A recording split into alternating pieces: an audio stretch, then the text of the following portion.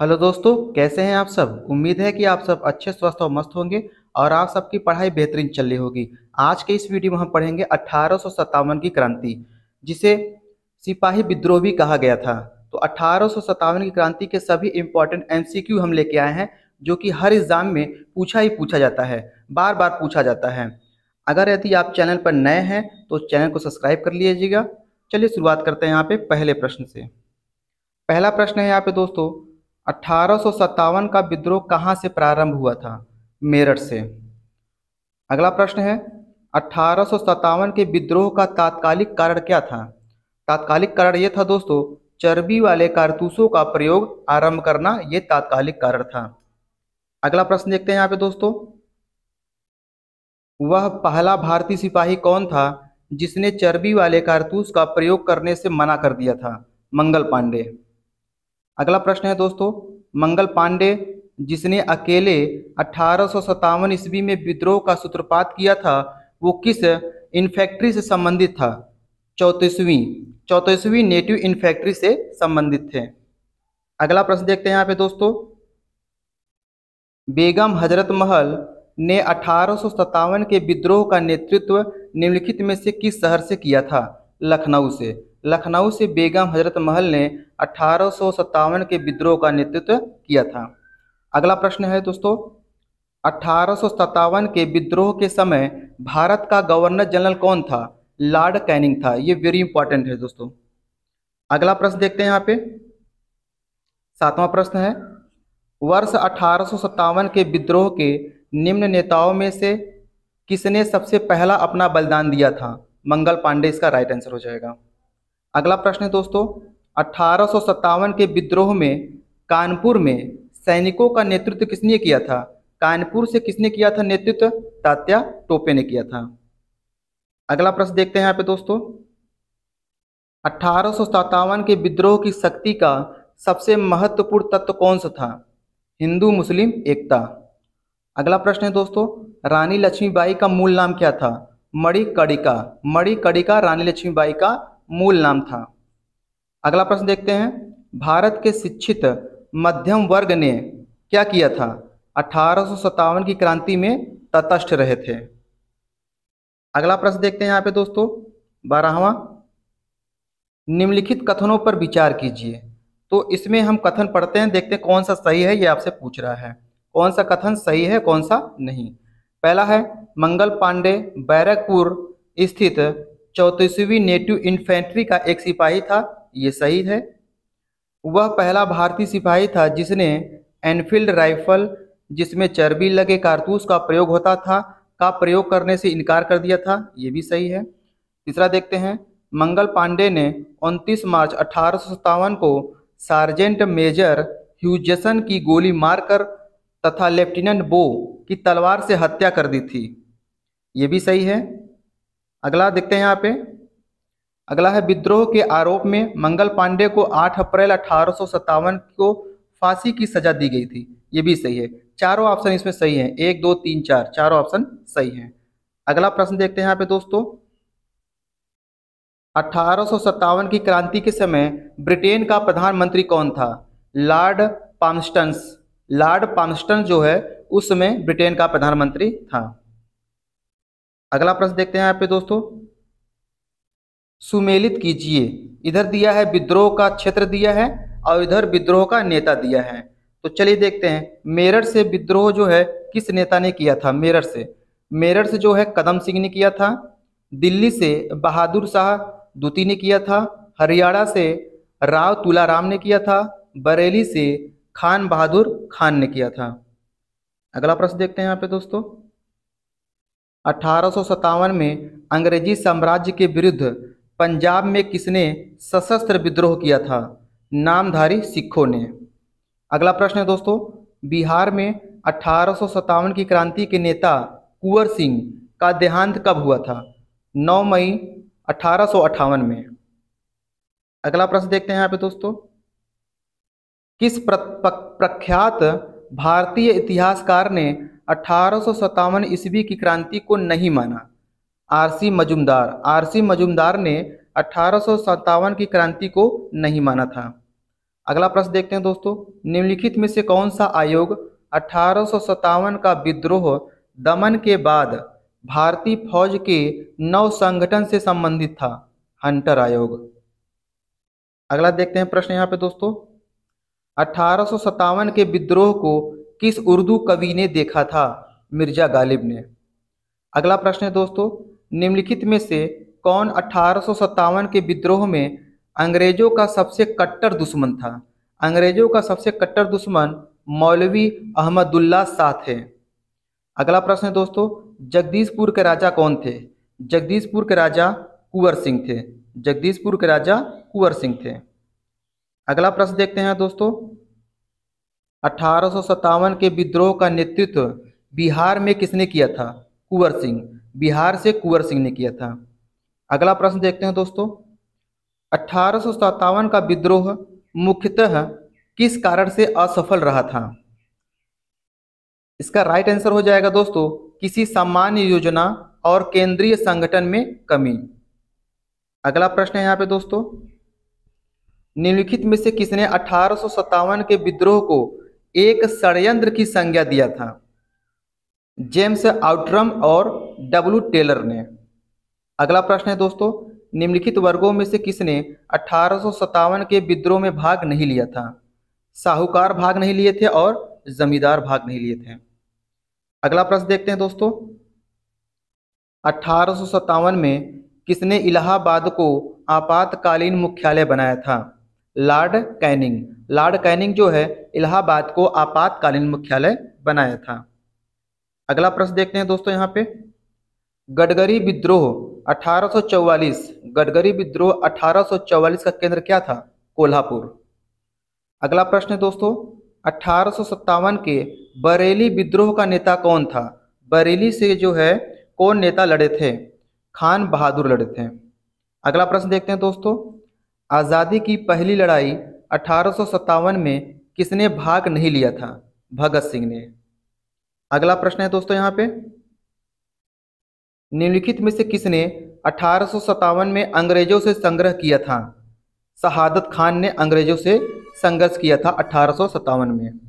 अगला प्रश्न है दोस्तों यहाँ पे। भारत के प्रथम स्वतंत्रता संग्राम का मुख्य तात्कालिक कारण क्या था? अंग्रेज़ों का धर्म में हस्तक्षेप का संदेह। ये मुख्य कारण था। अगला प्रश्न देखते हैं यहाँ पे दोस्तों। अठारह में भारत में हुए विद्रोह के एक नेता, तात्या टोपे का मूल नाम क्या था? तात्या टोपे का मूल नाम नाना साहब था। अगला प्रश्न देखते हैं दोस्तों। तैतीस नंबर प्रश्न है हमारा। इन कथनों पर विचार कीजिए। इन कथनों पर विचार कीजिए। तो इसमें पूछ रहा है कौन सा कथन सही है या कौन सा गलत है? अठारह सौ सत्तावन की क्रांति की शुरुआत एक सैन्य विद्रोह के रूप में हुई थी। सही है ये।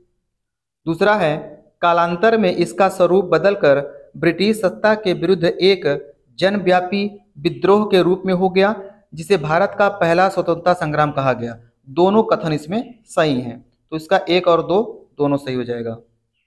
अगला प्रश्न देखते हैं दोस्तों। किस इतिहासकार ने लिखा है कि तथाकथित प्रथम राष्ट्रीय स्वतंत्रता आंदोलन, न तो प्रथम, न ही राष्ट्रीय और न ही स्वतंत्रता संग्राम था। आरसी मजुमदार ने आरसी मजुमदार ने ये कहा कि प्रथम राष्ट्रीय स्वतंत्रता संग्राम न तो प्रथम, न ही राष्ट्रीय और न ही स्वतंत्रता संग्राम था। अगला प्रश्न है दोस्तों, मेरठ में विद्रोह प्रारंभ हुआ था, कब हुआ था? 10 मई अठारह को। अगला प्रश्न देखते हैं दोस्तों यहाँ पे। अठारह के समसामयिकी, समकालिक इतिहासकार कौन थे? मुंशी जीवनलाल ये थे दुर्गादास ये भी थे मुहिद्दीन ये भी थे, सैयद अहमद खाद ये भी थे। चारों थे इसमें तो एक, दो, तीन, चार, चारों इसमें राइट आंसर हो जाएगा। अगला प्रश्न देखते हैं दोस्तों यहाँ पे। वर्ष अठारह के विद्रोह के संदर्भ में निम्नलिखित में से किसने उसके मित्र को धोखा दिया तथा जिसे अंग्रेज़ों द्वारा बंदी बनाकर मार दिया गया, तात्या टोपे को। अगला प्रश्न देखते हैं दोस्तों। निम्न में से कौन सा एक क्षेत्र अठारह सौ सत्तावन के विद्रोह से प्रभावित नहीं था? चित्तौड़। झांसी था, जगदीशपुर था, लखनऊ था, लेकिन चित्तौड़ नहीं था। अगला प्रश्न देखते हैं दोस्तों यहाँ पे। कथन वाला दिया है सवाल। कथन है प्रारंभिक राष्ट्रीय आंदोलन की आधारभूत कमज़ोरी उसका सीमित सामाजिक आधार था। कारण हमें से कह रहा है, यह इसमें सम्मिलित होने वाले सामाजिक समूहों के संकीर्ण होते होने के लिए लड़ता था। तो इसका राइट आंसर हो जाएगा, ए सही है परंतु आर गलत है। चलिए सावा प्रश्न देखते हैं दोस्तों यहाँ पे। इस मिसाल में हम मुसलमानों को हिंदुओं से भिड़ा नहीं पाए। निम्नलिखित में से कौन सी एक घटना से एचेसीन के संबंध में यह कथन है? अठारह सौ सत्तावन का विप्लय अठारह सौ सत्तावन का विप्लय या विद्रोह? अगला प्रश्न है दोस्तों यहाँ पे। सुमेलित कीजिए। इधर दिया हुआ है क्षेत्र और इधर दिया है नेतृत्व।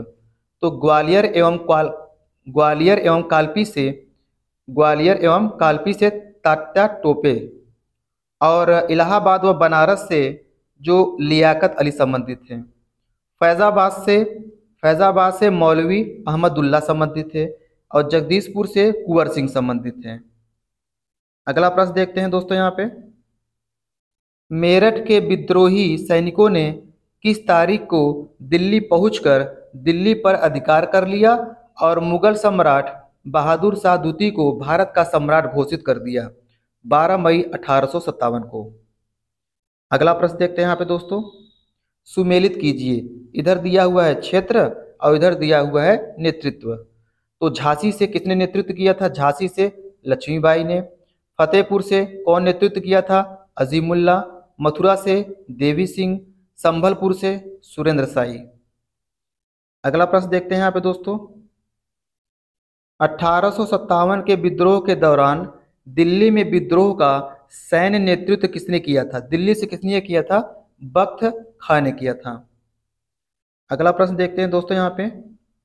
सुमेलित कीजिए। इधर इधर दिया हुआ है विद्रोह का स्थान और इधर दिया हुआ है दमन करने वाला ब्रिटिश अधिकारी।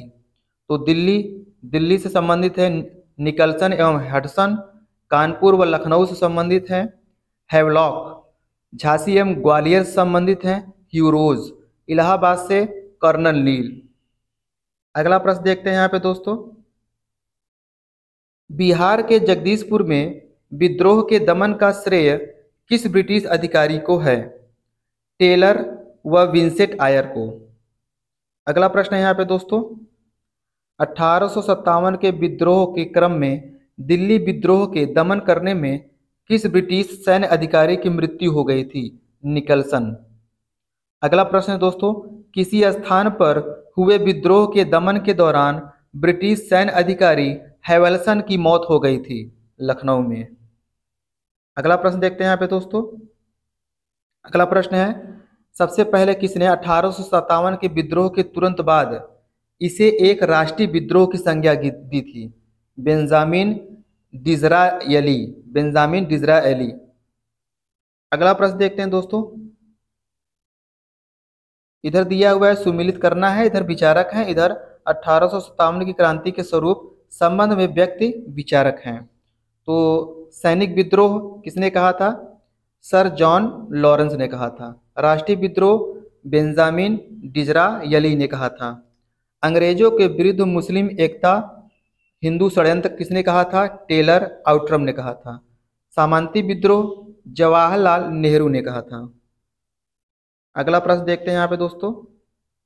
अगला प्रश्न है यहाँ पे, निम्नलिखित में से किसने अठारह सौ सत्तावन के विद्रोह को प्रथम भारतीय स्वतंत्रता युद्ध की संज्ञा दिया था? बी डी सावरकर ने। अगला प्रश्न है दोस्तों, किस, किसके मत में अठारह सौ सत्तावन की क्रांति आरंभ में सैनिक विद्रोह था, जो बाद में राष्ट्रीय विद्रोह में बदल गया? S N Sen, S N Sen, इसका राइट आंसर हो जाएगा। अगला प्रश्न है दोस्तों यहाँ पे। अठारह के संदर्भ में किसने कहा, ब्रिटिश शासन को उखाड़ उखाड़ फेंकने के लिए भारतीय जनता की क्रांति? कार्ल मार्क्स ने कहा था। अगला प्रश्न देखते हैं यहाँ पे दोस्तों। इधर दिया हुआ है पुस्तक और इधर दिया हुआ है इनके लेखक। इधर दिया हुआ, इनके लेखक दिया हुआ है। तो चलिए यहाँ पे देखते हैं कौन कौन पुस्तक कौन किसने लिखा है। The first Indian war the first Indian war of independence ये कार्ल मार्क्स ने लिखा है। The causes of the Indian resolve Syed Ahmad Khan ने लिखा है। The first war of independence V D Savarkar ने लिखा है। अठारह एस एन सेन ने लिखा है। अगला प्रश्न देखते हैं यहाँ पे दोस्तों। अगला प्रश्न है, जातीय आधार पर अठारह के विद्रोह के दमन में अंग्रेज़ों का सहयोग करने वाले कौन थे? अंग्रेज़ों का सहयोग करने वाले कौन थे? सिख थे, गोरखा थे और पठान, तीनों थे। अगला प्रश्न देखते हैं यहाँ पे दोस्तों। अठारह सौ सत्तावन के विद्रोह के दौरान अनेक भारतीय नरेशों ने ब्रिटिश सरकार की सहायता की। निलिखित में से किसने मदद नहीं की थी? मेवाड़ के राजा ने मदद नहीं की थी। अगला प्रश्न है दोस्तों यहाँ पे। अंग्रेज़ी सरकार अठारह सौ सत्तावन की क्रांति का दमन करने में सफल रही, तथा अधिकतर नेता विद्रोह के समय ही शहीद हो गए थे। निम्नलिखित में से किस नेता को बाद में फांसी की सजा दी गई थी? तात्या टोपे को बाद में सज, फांसी की सजा दी गई थी। अगला देखते हैं प्रश्न। किसे अठारह के विद्रोह की सबसे कमज़ोर कड़ी के रूप में देखा जा, जाता था? बहादुर शाह, ज़फ़र को।